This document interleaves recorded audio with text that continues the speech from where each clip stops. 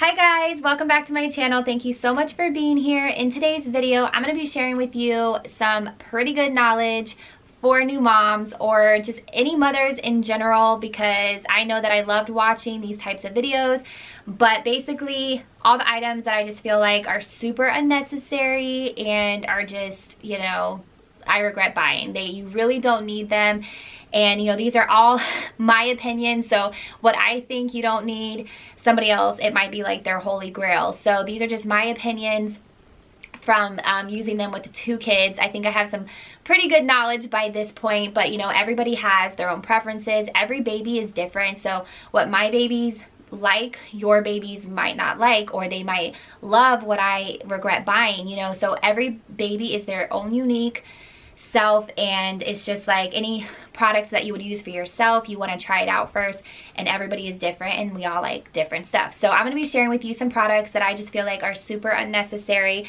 But before we get into today's video don't forget to subscribe. If you're new here welcome. I am a mom that lives in florida of a baby girl or toddler. She's not a baby anymore. She's two and a half. Her name is ava and a baby boy that is seven months old.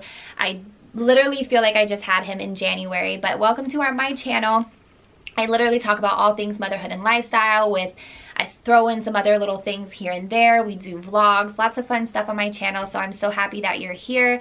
And if you are a continued follower, thank you so much for your support and tuning into my videos every week. I do try to post once or twice every single week, usually on Wednesday or Saturday, but it does change because I am a working mom. So I work about 40 hours a week in the property management industry. So it can be very, you know, my schedule is all over the place. So I don't usually like to commit to specific days, but just hit that bell notification and you can be notified for all my videos. But without further ado, let's get into these topics. And I have my absolute favorite drink from Starbucks right now because it is September and they just introduced their fall drinks. So my favorite at this time is the pumpkin spice cold brew. And I just dropped off my kids at their um, grandparents' house. I have a day to myself, just a little backstory before we get into everything. So it's nice that I'm able to film some videos for you guys and get my house all vamped up and cleaned because it gets crazy. But I'm very thankful to be having this day to myself. Self-care and mama days are definitely essential, but this is my favorite drink and I definitely had to have it today to get some things done. So let's talk about baby products that we regret. it's just, there's so many things that are unnecessary that you really don't need and it's just amazing what you think you need as a new time mom and of course we're all super excited and we all usually splurge and buy so many things that we don't need for our first baby i know i did but these are just newborn essentials that are just unnecessary. You can get by without having them and what I regret the most and what I don't even have because I got rid of them because I just didn't use them at this point. So I will insert pictures as I talk about them. But I most of these products I don't really physically have to show you because I either got rid of them or they're just somewhere not handy. So to start off with, we're going to talk about clothing first, this category. What I regret buying the most is just tons of fancy clothes. You know, when they're a newborn, they're to be living in onesies and sleepers. Okay? That's it. I regret buying tons of fancy cute little outfits. I mean, you, you can have like one or two for a really cute picture. Most of the time when you have newborn pictures, they're gonna be swaddled anyway, or the photographer will already have the clothes, but that's super unnecessary. They're not gonna be in any of those clothes. So I recommend just not buying a lot of them, just buy a few cute outfits and then buy mostly just onesies and sleepers. And on another note, when, when it comes to that category, do not buy the Snap sleepers, okay? It's just, just don't do it. it is just the most, it is so, it's just painful, honestly. Just don't do it because you, most of the time you're tired, you're sleepy, and you're, I always end up being like a snap off. So it's just, I get so frustrated. Buy the zipper ones. You will thank me when you have your baby. You will thank me. You'll come back on here and comment and be like, thank you for telling me that. Don't do it. Also, you don't really need to go crazy, which I I actually did with both of my kids just because I love so I love little baby shoes. Super unnecessary, especially for the first three months, three to four months, probably even longer. Um, they're gonna have the sleepers come with you know little footy it's a it's a it's a sleeper so it covers their entire foot. You don't really need a ton of socks you don't need shoes. Actually they recommend for babies not to really wear shoes because it's just they don't they don't need to. It, they need their foot is growing like crazy and you just don't need to. I just put them on just for pictures and things like that but i wouldn't go crazy with socks or shoes. The sleepers are going to cover your baby's feet which you're gonna most of the time when they sleep and stuff you're gonna have them in that. So don't go crazy on all the the clothes. Now um, a lot of people probably think like bows and stuff are unnecessary but I love, if you have a girl, trust me, you'll know what I mean. I am obsessed with bows. But I will have to say after having a boy in the clothing category, I wouldn't go crazy with buying hats. Like that first month, you know, you want to get those pictures and those super cute like little beanie hats and stuff. Definitely get a couple of them, but I wouldn't go crazy on getting a bunch of hats. I live in Florida and I remember with my daughter, I had so many hospital hats, so many little hats and she barely wore any of them. It's cute for, you know, maybe having one or two for a picture or something like that, but I really, that's something that's just not necessary. But of course, it really depends on your climate and where you live. But for me, any of that stuff is not necessary. I would have much rather which I am with my son now, purchase maybe something that's a lot lighter weight, like a bonnet or a hat, because they're to need that when they're in the sun. So that is definitely on my must-have, which check out this video that I've already posted if you haven't checked it out. All of my baby must-haves for a newborn uh, the phase are, is listed there, so I would definitely check that out if you're looking for must-haves. Next baby item is swaddles. Okay, swaddles are really cute you definitely want to buy some, but I would just buy a few. Um, I wouldn't buy too many before they're born because every baby's different and what your baby likes, my baby might, not like. It's it's like I said, they're they're your own unique little baby, so they may not like certain swaddles. So just buy a few. You don't want to buy a ton. Plus, you know, you're only you're not going to use you know them as much. You can wash them and things like that. So I just wouldn't go crazy um, and especially the, the really cute ones that are like really big and stuff and then you, you have to swaddle them to yourself. Honestly, I've only bought a couple of those with my with my son, but my daughter I bought way too many. And then you end up just using the ones that Velcro, the swaddle means swaddle me ones anyways.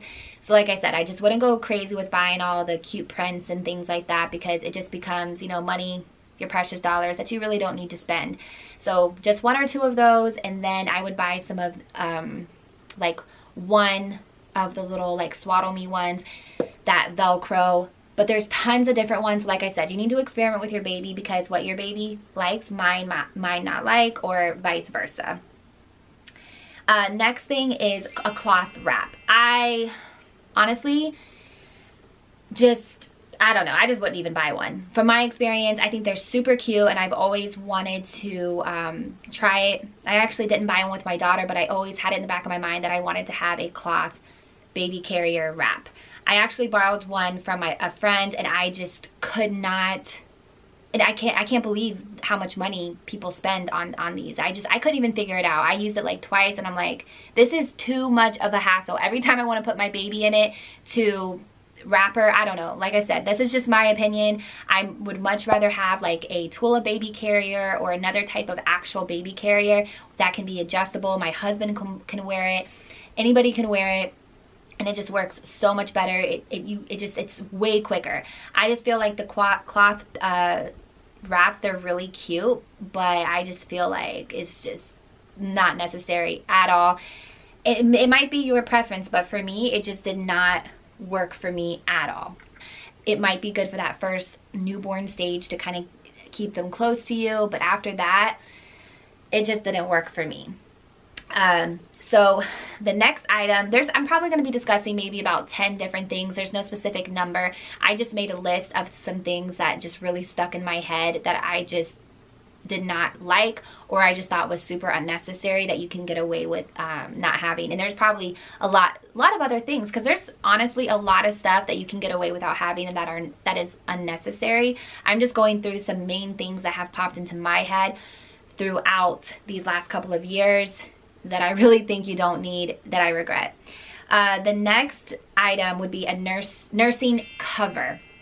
Okay, I only breastfed my kids for my daughter i only breastfed her for like a month. My son two months. I you know just had issues. If you followed me for long you know what those are. I've discussed those in other videos my postpartum video discuss those issues. But i just felt like you know i would rather just get like a burp cloth or a muslin blanket just kind of you know cover yourself a little bit. And i just feel like it's just you're kind of figuring out what to see where to like you can't even see your baby i just feel like it's super unnecessary just kind of honestly what worked for me most of the time you know, I would use a burp cloth or a muslin blanket sometimes, but most of the time I would just do like the two shirt method. I would have um, a shirt, like I would wear like a flowy shirt and then I would have my tank top or my, my nursing bra and undo it and then have the baby underneath my shirt and it is all flowy and I can just go like this. To me, that is way more convenient than a nursing cover and those can be super expensive.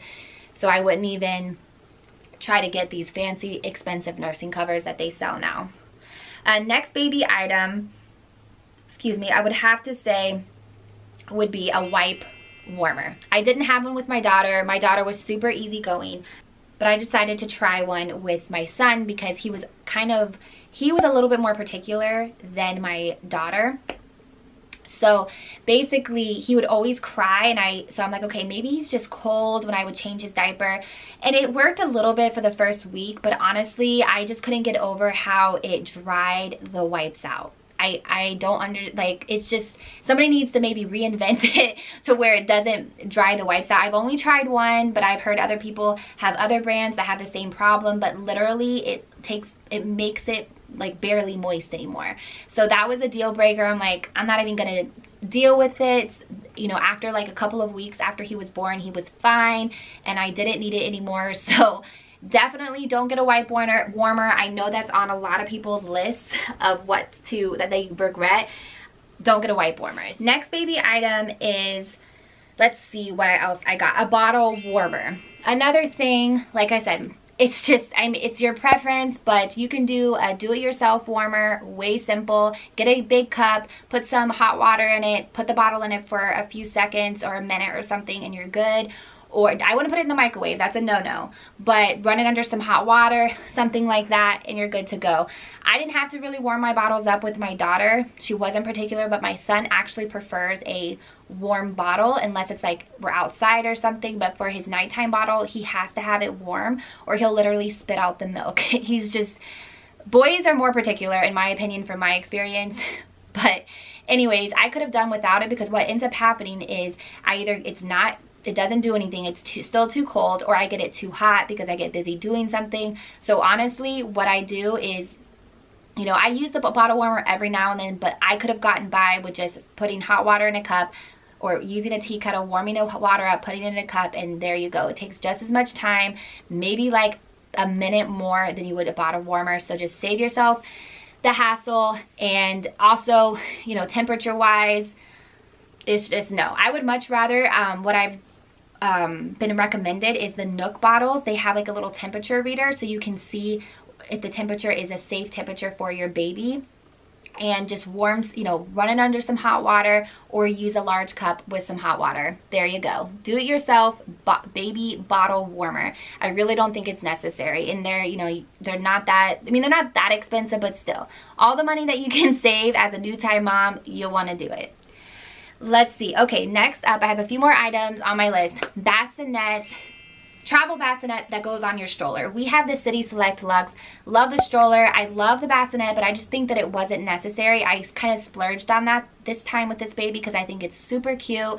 It's very luxurious and it did come in handy when you're going out for a whole day. You don't want them to be crunched up in their car seat and things like that. But if you're not really going to be doing that type of stuff, during the newborn stage, which most of us don't, I really don't think it's necessary because you can't even, first of all, you got to wake up your baby to take them out of the car seat, to put them in the bassinet. That's annoying. Not only that, you, you can't really pick up the bassinet with the baby in it. It says not to do that you know so i just really think it's not necessary just get yourself an adapter to put the car get a nice nice invest in a really nice car seat that's comfy for them put the car seat in there on your stroller and there you go. You don't have to worry about them waking up. You get a nice um, car seat cover. That's what I think is the best. Now, you don't want to keep them in their car seat for hours and hours sleeping, so it's not good for an all day thing, but you know, you're not going to be, they, they can only go in that bassinet for probably maybe the first three months, if that. And most people don't really stay out all day with a newborn. So I really don't think it's necessary. There's tons of other travel bassinets, which I've mentioned in my, um, I mentioned one in my newborn essentials video that is much better if you're going to be going, you know, to the beach or to the pool or you're going to be going to your parents' house. You can set that up it's like a backpack bassinet and there you go. I think that's much better option and saves you a lot of money. I think just that bassinet was a $100. now, my husband's probably watching this and being like, well, you told me to get it. yes, it was something that I splurged with. I still love it. I think it's super cute and we did use it. I just don't think it's necessary. If you're really debating getting that, I don't think it's necessary. So the last baby item that I want to share with you guys that's on my unnecessary list of baby items to not really get, you don't need them, is a bumbo seat. And I don't know if that's the way you pronounce it, but that's the way I pronounce it but it's super cute and I get why people like them. Um, we've, you know, we've only used it, I can count on one hand the amount of times I've used it with my daughter and my son and I just, I don't know. I don't get the hype about them. I am, you know, I think it's cute. You know, you can kind of sit them in it. It helps them learn to sit up and get comfortable with that and you can start feeding their solids to them because it does come with like a little tray but I personally just like the Sit Me Up by Fisher Price I think that that works just as good and I prefer that honestly and my main like problem with this is that you cannot get your baby out of it unless you either have somebody hold the seat down so you can get your baby out of it or you're like putting your foot down to hold it down while you're getting, getting your baby out of it because both of my babies got stuck in it. It's extremely hard to like get them out by yourself without looking like a crazy person. So, I mean, in my son, I mean, he has like chunky, those, the cute chunky legs. So if your baby has like the cute chunky rolly legs, it's going to be impossible to get them out by yourself without somebody holding it down. So I just think that that's a super unnecessary item that, you know, has been highly acclaimed and highly recommended. I just don't think that you need at all. So that is it for today's video. I hope you guys enjoyed it and it helped you figure out what not to buy. I really wish that I would have watched more videos like this as a new time mom. I didn't honestly get into YouTube until my maternity leave with my daughter and I literally was just like in shock because I'm like, why didn't I know about YouTube and all these amazing mommy YouTubers? That's what made me want to start my YouTube channel because I want to help you in any way that I can because there's so many things that aren't talked about enough. So leave me a comment if you guys have any questions about any type of baby products. I feel like I'm an expert after having two kids. I'm sure if you're watching this and you have two or more kids, you probably feel the same way.